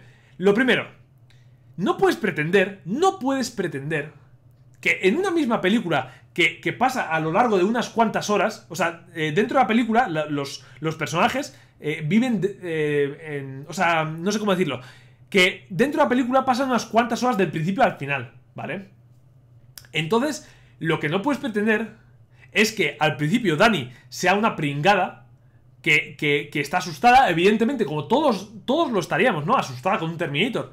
Y de repente al final de la película, sin ton ni son, ¿vale? Tiene que clavar en el ojo un chip, un chip, un aparato, una, célula de energía en el ojo al Terminator y va con la escopeta, que además sabe que la escopeta no hace nada, ¿vale? Y la tía va ahí todo súper valiente, súper segura, súper no sé qué. ¿Qué cojones me estás contando? La tía esa tenía que estar medio acojonada escapándose por ahí. E, eso debería hacer la tía. Y si no recuerdo mal, la tía es la que dice, no, no, tenemos que enfrentarnos al Terminator. ¿Eh? ¿Veías a Sarah Connor tú queriendo enfrentarse en Terminator 1 al Terminator? No, porque estaba acojonada. En Terminator 2, con la experiencia de Terminator 1, y que ahora quiere proteger a su hijo, hay una vida que, que, vale más para ella que ella misma, que es John Connor, entonces es cuando se vuelve una mujer fuerte. Ahí es cuando se vuelve una mujer fuerte, fuerte, ¿no? Pero, pero Sarah Connor en la primera película era una miedica. Normal, como todos nosotros. Y John Connor en la segunda película era un miedica, porque era un criajo. Y es totalmente normal que sea un miedica. Entonces, que Danny de repente, de no conocer nada de esto, a pasar a enfrentarse a un Red 9 al final del todo, con una escopeta, y clavando en el ojo... Que, que, que no, que no, que no, que no, que no me lo trago. Otra cosa es que termine la película y Sarah Connor le entrena a, a, a esto, a, a Danny, y se hace súper fuerte para la siguiente película. Vale, es una justificación. Pero a mí no me pongas de muchachita fuerte en esta misma película porque la tía tenía que estar acojonada. Tenía que estar acojonada. Y ya está, y punto en boca. Y eso, eso es así porque nadie se traga que la tía estuviese súper poderosa, fuerte. No, que no, nadie se traga eso. ¿Vale? Y otra cosa fue en, en, una visión del futuro en la que Danny de repente salva a Gris, ¿vale? Que justamente es la, chica esta. Salva a Gris de, tres eh, como ladrones, ¿vale? Que le están amenazando con cuchillos y no sé qué. Claro, aparece de repente Danny ahí se hace ahí el ninja. Pa, pa, pa, pa, pa, pa, Y de repente les dice, es que no acaba ni con ellos. les hace como un poco de daño y les dice, oye, ¿queréis uniros aquí a los rebeldes? Y claro, hombre, ¿cómo no? ¿Qué, ¿Qué cojones ha pasado ahí? A ver, a ¿qué me estás contando? Y encima salen Dani y los nuevos rebeldes afuera y de repente hay un montón de rebeldes ahí esperando. A ver, a ver, ¿no hubiese sido más eh, fácil o más realista que entren 100 rebeldes de golpes armados apuntando a esos, eh, a esos ladrones y les hubieran dicho lo mismo? Oye, ¿os rendís y venís con nosotros o os pegamos cuatro tiros? Hostias, si te aparecen 100 tíos armados hasta los dientes apuntando, pues igual causas un poco mayor impresión. Y no te sale una ninja aquí y de repente, eh, sin acabar con ellos, eh, tú, os unís aquí. ¿Qué, me estás contando? Que, es que me da la sensación de que se quiere como... Eh, se quiere como hacer la imagen de, Dani como, oh, mira, la tía encima que es poderosa, sabe ninja y, y, y, encima, ¿sabes lo buena líder que es? Que cómo recluta, ¿sabes? Nah, que nada. No cuela, no cuela. O sea, es, no cuela. Después ha habido otros toques de inclusismo, que es lo que he comentado. Eh, por ejemplo, con, el... Bueno, otra es... Joder, es que... Ya digo, eh, igual puedo ser yo, pero es que está demasiado claro, yo creo que el, ejemplo de inclusismo. Cuando le dice a Sara, Sara Connor a Dani, no, lo que importa aquí es el chico que llevas en tu vientre, o vas a llevar en tu vientre. No dice nunca, tu hijo o tu descendiente. O... No, no, no. Tu chico. Esa palabra, el, chico, eh, no usaríamos, yo creo que nadie en ese contexto. O sea, dirías tu hijo, tu hija, tu, yo qué sé, tus hijos o tus descendientes o tus tal, pero tú le dices a alguien que va a estar embarazada o está embarazada, tu chico va a ser bueno. Tu hijo va a ser bueno. Tu, e, ese chico, ese, esa palabra chico, me sonó tan, tan mal. Está diciendo, no, tú no eres la importante. Tu chico es el, importante aquí. Y después, escenas más adelante, te dicen, no, no, no, no, no, no, olvídate tu chico. Tú eres aquí la, la importante. ¿Por qué no se dice la misma escena? Para darle más dramatismo. ¿Por qué se dice la palabra chico? Es, que. Es que son, son minucias. Pero si hubieseis dicho, no, tu hijo, como en mi caso, sería el, eh, será el importante. Tienes que cuidarlo o tienes que no sé qué. No, no, me, no me supondría. Y de repente viene Gris y le dice, no, no, no. En este caso su, hijo no es el importante, es ella. Con normalidad. Pero no. le pone la, la puntilla y cómo lo dice, ¿no? No, no, tú no eres importante. Tu chico es el importante. ¿Eh? Y luego, no sé cuántas escenas más adelante, no. Tu chico no es el importante, tú eres la importante, tú eres la líder rebelde. No se podía haber dicho de forma normal eso. Eso mismo, como he dicho, en una escena normal y corriente. ¿Por qué se tiene que, que, dramatizar un poco esa escena? ¿Por qué tienes que recalcar esa escena un poco, no? Eso es lo que me jode, ¿no? Que son. Y, eso que es bastante sutil, ¿eh? Pero. Pero. Pero esa palabra chico. Eh, no sé cómo está en inglés, pero en castellano. Eh, huele bastante. Luego también... Eh, ah, sí, el, tema de... Bueno, en Estados Unidos el tema de racial es muy importante, con lo que siempre... Eh, si es una película donde aparecen muchos blancos, por decirlo de una forma, eh, siempre luego los policías o los no sé qué, como los acompañantes, los secundarios, siempre son como de raza negra, como para es como siempre para justificar, ¿no? O sea, en Estados Unidos esto se hace mucho, ¿eh? O sea, esto es. El, inclusismo, esto de la raza negra, se hace muchísimo en Estados Unidos. Entonces, en la película simplemente, pues. Eh, ya no sé si, si, si. ya no me llama tanto la atención o es que no es tan sobrado como lo otro, ¿no? Que simplemente hay. Eh, en ciertos puntos hay, hay muchos de raza negra, ¿sabes? Es como.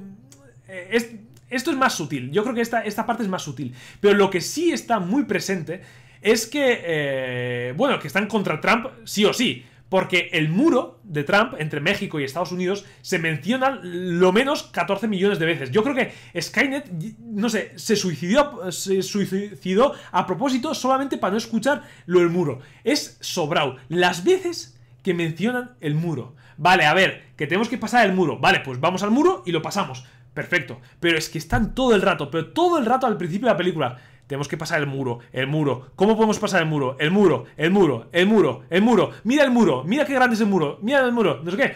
todo el rato, el muro, el muro, el muro, el muro. Luego sale el muro físicamente, pasan el muro y les, les coge la policía ahí eh, pasando el muro, ¿no? Es que es todo muy sobrado. Si eso todo hubiera pasado de una forma más natural, más... Eh, vamos, pasamos el, muro, les pillamos, pero es que de repetirlo tanto, intentar... Eh, intentar... Que tenga tanta, tanta importancia el muro, al final se nota que es parte de ese inclusismo, ¿no? Ese, ese querer que... Bueno, es también racial, ¿no? Eh, que los mexicanos se sientan parte de Estados Unidos y tal, que están contra Trump, claramente, eh, y contra su muro y tal, que está muy bien, ¿eh? O sea, no digo que no se luche, y es... Eh, el Trump este es un poco... No quiero decir insultos ni nada, pero es un poco así, por haber puesto ese muro y un poco fantoche, pero... Pero me refiero que no creo que sean los lugares adecuados, y si se hace, hay que hacerlo de una forma un poco más elegante, ¿no? No tan descarado, ¿no? Y luego, por último eh, bueno, no, yo creo que... no mucho más. Eh, pues eso, yo creo que eh, el caso de Dani mm, con lo feminista, el, caso del racial, que bueno, eso se suele dar muchísimo, y luego el caso del muro, que yo creo que, bueno, los tres casos del inclusismo que hay en la película están más que claros, ¿no? El que más sutil está puesto es, yo creo que es el de la raza negra, que siempre están como ahí eh, está un poco incluido, pero, pero en plan suave. Y con esto no quiero decir, y lo mismo digo, eh, con esto no quiero decir que no apoyo a razas negras, ni, mucho menos. De hecho, eh, por poneros un ejemplo, tengo unas ganas de ver el Bad Boy 3, que, ya sabéis que es esta de Will Smith, y el otro que no me acuerdo cómo se llama, pero es un cachondo mental. Y, y ahí como digo aquí que, que bueno, si, si, no hay negros, pues no hay negros. Ahí digo, si no hay blancos, pues no hay blancos. Que da, igual, que yo no me voy a quejar. Y, no quiero que me quitan a Will Smith, por ejemplo, para meter a un blanco. Que no, que no, es que no, no pido eso. De hecho, mira, em, eh, bueno, es que no, no quiero meterme más. Es que ya empiezo a alargarme con esto y, al final eso. Pero me refiero que yo nunca juzgo una película eh, eh, por su por, ser racista, eh, machista, no sé qué, que eso es una... En mi caso, por lo menos, es una tontería. Y lo digo así porque hay películas, por ejemplo, Blade. Me flipa Blade. Y como me pongo en un Blade blanco, los mato. Porque no, Blade es negro. Y punto. Y ya está, es, no tienes por qué poner una persona blanca ahí, no, no. Y lo mismo, eh, Batman, por ejemplo. Ahora Alfred es negro. Batman quiere hacerlo negro. Eh, también quiere hacer negro, joder, eh, a la sirenita. ¿Pero por qué? Si es blanco, es blanco. Que no pasa nada. No estás faltando al respeto a los negros. Que no. Que no. Y cuando haces una película de negros, pues no estás faltando al respeto a, los blancos. Que no. Y cuando, por ejemplo, esta película que tiene Marvel preparada de los chinos, que hubo mucha polémica porque en vez de coger un chino de China, han cogido un, americano chino. Entonces hubo polémica por qué no cogieron un chino eh, para la película. Pues bueno, oye, es un casting, han cogido un chino eh, de América, pues igual por, por X razones, o porque sabe inglés, o porque sabe inglés y chino, o porque sabe, o porque les encaja mejor, o... No hay que ver todo el rato como, no sé, cosas eh, extrañas. Es que parece que cada acción que hacemos sobre estos temas parece que son como una falta de respeto a la sociedad, y no es así. No es así. Que no. Hay a veces decisiones que se toman simplemente por gusto o por, em, por decisión técnica o por lo que sea. Por lo que sea. No sé. Eh, que tampoco hay que ver. Luego sí que hay casos, evidentemente, hay casos de, machismo, de racismo y tal. Y yo los condeno todos, por supuesto. Los condeno todos. Pero es que hemos llegado a un punto en el que, por ejemplo, em, hay películas, ¿vale? socialmente que, no son correctas y pongamos un, nombre, pongamos un nombre. El Joker. El Joker, ¿habéis visto en Estados Unidos el palo que le han dado? Ah, que tiene un 5,8 de media, que eso es en Metacritic y esto, estas páginas es un suspenso. El Joker, que es una película, no sé si de 10, pero un 9 con pico, pero, vamos, si ha ganado el Festival de Venecia. Que no, que no. Que sé que en los Estados Unidos el, correctismo es, eh, es así, ¿no? Hay que meter en las películas, en todo hay que meter el correctismo, ¿no? El inclusismo. Pero el Joker es todo lo contrario al inclusismo y ha salido un puto peliculón. Y es así. Y el Joker es un peliculón. ¿Vale? ¿Y, y, qué han hecho? Destrozarla. ¿Por qué lo han destrozado? Porque se sale de los cánones actuales eh, que la sociedad marca. que si va a crear violencia en las calles, que si va a crearnos... ¿Qué me estás contando? ¿Qué me estás contando? ¿Y qué? Y, Avengers Endgame igual incita a los aliens a, atacar la Tierra. Si nos ponemos así, ¿no? Es que eso es lo que me jode. Que hoy en día, sin darnos cuenta, estamos viviendo casi la mayor censura, teniendo la mayor libertad de opinión que es Internet, poder opinar y compartir cosas. Estamos viviendo la mayor censura de, de la historia. ¿Vale? Eh, y el Joker yo creo que es el caso, vamos, más, más claro de este año, pero, pero sin duda. Lo han destrozado porque en Hollywood, en Hollywood no aceptan hacer películas de ese tipo, que son eh, incorrectas, ¿no? Eh, entre comillas. Y, en el Joker no aparece nada de ni machismo ni no sé qué, no, es una crítica más social, digamos. Y claro, eso también no es correcto, eh, ese, tipo de críticas, ¿no? Es mejor no quiero decir palabras eh, malsonantes. Entonces, ya me entendéis un, poco, ¿no? Yo en ningún momento voy a tirar por la polémica de eh, machismo, feminismo, embrismo, no sé, que, si negros, blancos, que no. Si una película está pensada para, para, hacer con protagonistas negros, pues se pone negros. Si está pensado con blancos, pues es para blancos. Si está pensado con hombres, pues para hombres. Si está pensado con mujeres, para mujeres. Y si está pensado con, con perros, pues se hace con perros. Y ya está. ¿Vale? No, no tengamos que meter con calzador mil mensajes y mil historias y mil sexos y, y, mil em, eh, razas diferentes y, Que no, que no, por favor, es que estropeáis la película por completo. Me sacáis de la película. Y, vuelvo a decir, y me reafirmo, y me reafirmo, ¿eh? Dani, para mí es lo peor de la película. Pero es que lo mejor son Gris y también Sarah Connor. Con lo que por favor, no empecéis con las tonterías.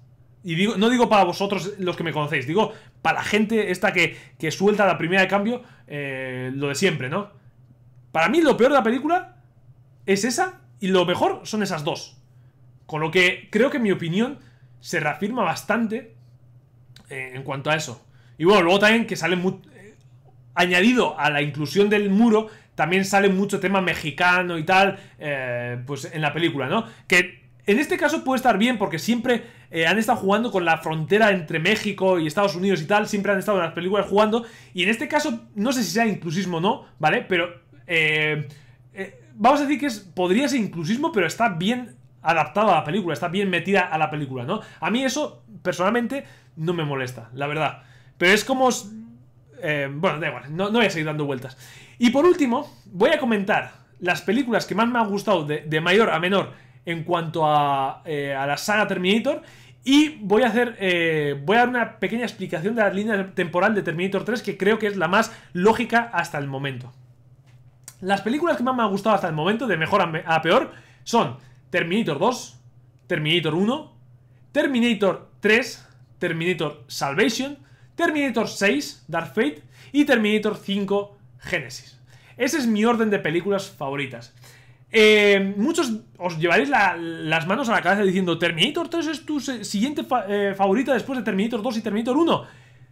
Sí, pero tiene una cosa, una cosa que a mí me jode mucho esa película. Pero esa película es la más Terminator de todas, ¿eh? Después de la 1 y la 2. Es la más Terminator de todas. Pero me jode una, una cosa. Y es que eh, el director ya no era James Cameron y empezó a meter humor de forma absurda. Entonces, el tema de ponerte las gafas, eh, esas de estrellas, eh, de repente cuando está en el camión y se pega contra el parabrisas así terminito, ¡pah! Eh, el ruido cómico que hace el, cuando se pega, el, bueno, todo detallitos de esos, ¿vale? Que ese humor no es humor de Terminator. Y eso jodió la película. Ese, ese, esos pequeños puntos de humor jodieron la película. Pero aparte, si obviamos esos pequeños toques de humor, la tía, la Terminator, está brutal. Eh, Arnold Schwarzenegger está brutal también. Está un poco más viejo, pero está brutal como Terminator. John Connor no es lo mejor que he visto, pero bueno, eh, vamos a decir que por lo menos sigue la historia de John Connor. ¿Y por qué creo que... ¿Por qué me quedo con el canon de Terminator 3 y Salvation? ¿Por qué me quedo con ese canon para mí, que va a ser mi canon principal por ahora? Porque lo que te dice eh, la película es que tú puedes retrasar tu destino pero nunca puedes cambiarlo. Entonces, lo que te están proponiendo es que sí, has destruido Skynet. Lo has por ahora. Pero, en el futuro, en la película, de otro modo distinto, se va a crear Skynet. Y volvemos al mismo futuro, al juicio final y al mismo futuro. Entonces, está muy bien planteado porque creo que eso de que el destino no se puede evitar, creo que está muy, muy bien pillado. O, a mí me gusta bastante. El, eh, también me gusta bastante el tema de que se puede abrir. Se puede abrir una de las paradojas temporales, o las dos, porque, claro, aquí viene lo interesante de la película, ¿no? Y creo que es, es muy interesante analizar estas cosas. La película te dice: si no hubiese habido ese brazo de Terminator en Terminator 1, no se hubiese creado el Skynet en Terminator 2. Pero Ahora te están diciendo que si no hubiese pasado eso, se hubiese creado en el futuro el mismo Skynet. Entonces, ¿qué quiero decir con esto? Que seguramente en la pregunta, ¿qué fue antes? ¿El huevo o la gallina? ¿Qué fue antes? El que llegase el Terminator del futuro, pero claro, para que llegase el Terminator del futuro, tenía que haber un pasado que hubiese llegado otro Terminator del futuro. Eso es como ¿Qué ha sido? ¿La gallina que ha puesto el huevo? ¿Y esa gallina de dónde ha venido? Del huevo, pero ¿quién ha puesto ese huevo? La gallina. Esa es la, pregunta, pero si me, si me preguntas, si me dices, eh, no, es que Skynet ha venido del futuro, o sea, eh, Skynet se crea, llegue o no el Terminator del futuro, se crea Skynet. Con lo que en la primera línea temporal que existía, seguramente no llegó el Terminator del futuro porque no existía todavía. Y después se creó, en Terminator 3 se creó el Skynet ese.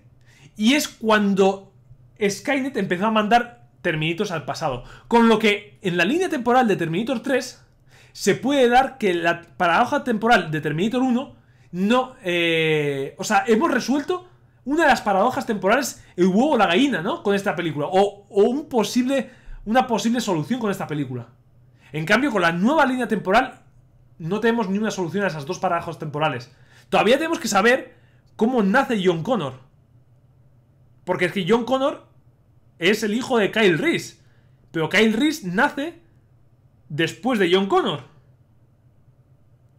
Después de John Connor, ¿es? Ostras, ahora la fecha de nacimiento de Kyle Reese. Pero bueno, la cosa, que John Connor es hijo de Kyle Reese. Así que si Kyle Reese no es mayor y embaraza a Sarah Connor, no pueden hacer eh, John Connor. Entonces, en la línea temporal de Terminator 1, 2, 3 y Salvation, se puede explicar la primera paradoja temporal de Terminator, pero todavía yo por lo menos no he encontrado solución a la segunda paradoja temporal de cómo nació John Connor. Y si cogemos otra vez con muchas pinzas, podemos decir, no, es que John Connor, eh, primero Sarah Connor se acostó con otra persona, y nació el mismo John Connor, que mira que, eh, que es imposible, porque los genes, pues supongo que, que, que los genes de Kyle Reese, no sé, importarán algo, ¿no? Digo yo. Entonces, si te acuestas con otra persona, saldrá otro John Connor. ¿No? Entonces, pues bueno. La segunda paradoja temporal me parece muy difícil de explicar, pero, pero es posible, ¿no? Podría ser, no, no sé, no, es que la segunda paradoja temporal es casi imposible de, de, de esto. De descifrarla, ¿eh? No, es que no. No creo que sea posible. La primera sí que se puede descifrar con, con el Terminator 3. Pero la segunda no, no se puede descifrar. Así que bueno, espero que os haya gustado este vídeo. Hora y media. De hecho, me ha salido más largo que el anterior.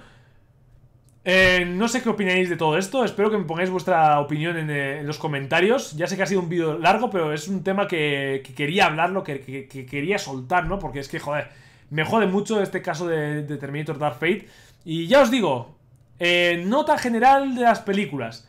Como película de acción, independiente a Terminator, me parece de un 7,5, un 8. Como película de Terminator, entre un 4 y un 5. Porque bueno, tiene sus cosas buenas, Eh, pero bueno, muchas, muchas, muchas malas. Y le doy un 4-5 porque, bueno, los efectos visuales cumplen, eh, los actores eh, y actrices están a un gran nivel, muchos. pero bueno, luego hay decisiones ahí que no me han gustado, hay agujeros de guion, hay, hay muchas cosas que es que no, se pueden salvar. Así un 4, un 4 y medio, un, no sé, por ahí andaría. Un 4 y medio. Es que como película de Terminator no se puede no se, no se podría probar. Como película de acción, sí. Un 7,5, 8 es muy, muy distraída, eh, se ve muy ligero, se, se, pasa la película volando y, y, la verdad que está, está genial. O sea, está genial como película de acción. No sé si estáis conmigo, no estáis conmigo, si sois fan, no sois fan, habéis visto con otros ojos la película o igual alguien tiene explicación para todas estas dudas que he creado en el vídeo, que ojalá, por favor, si alguien me, explica todo el T800 de tal, no sé qué, joder, me, haría feliz, me haría muy feliz. Porque, joder, eh, la verdad que me ha, jodido, me ha jodido bastante la película, pero bueno. Em, pues eso, eh, os dejo, espero que deis un like para más vídeos así, que compartáis esto y nos vemos a la siguiente. Un saludito a todos y adiós.